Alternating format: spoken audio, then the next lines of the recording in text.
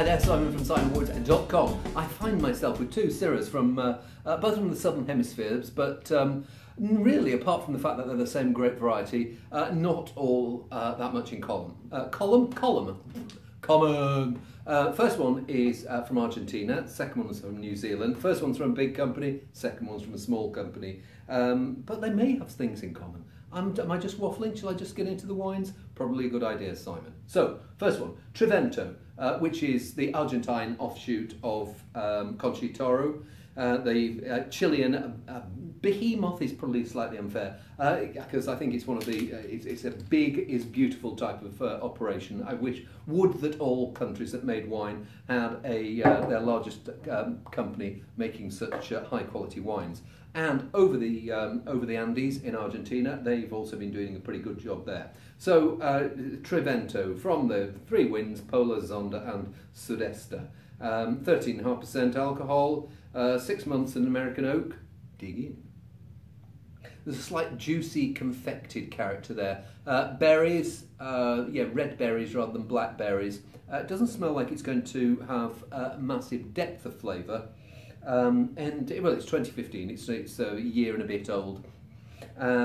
It smells like one of those where sometimes people expect um, Syrah stroke Shiraz to be uh, quite big and galumphing, but that's not what the grape often wants to do.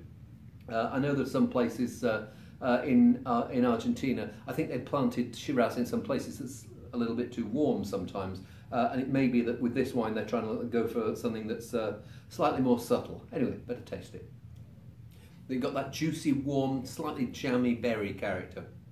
Um, I like the freshness of it. I'm not so sure about that uh, uh, that jammy edge. And then uh, in, in terms of the oak impact, that American oak is just giving this slightly uh, coconut, toasty vanilla edge to it.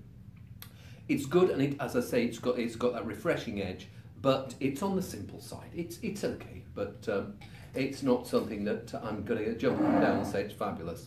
But it's competent wine. I think it's about eight quid, and it, probably often on uh, reduction, uh, so you get it for about six quid. So um, pretty decent grog at that price.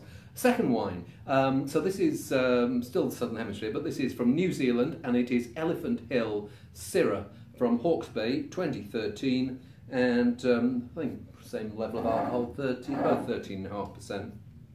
Let's see whether this is elephant by name, elephant by nature and it's got that classic Hawke's Bay uh, light, fresh, um, peppery blackberry character. Smells like it's going to be uh, a more complex wine than, uh, than, than, the Trivento. Uh, sometimes my concern with, with Hawke's Bay is they have these lovely aromas, uh, with, with Syrah in Hawke's Bay, they have these lovely, lovely aromas, but then the wine, you almost, there's a little bit in the middle that's not quite there. It's all about the perfume but not about the, uh, uh, the flavour. So let's see whether that's the case here. And that does have the depth. It's got um, quite a lot of grip, quite a lot of grippy tannin, um, and this uh, black pepper, there's a really spicy character there.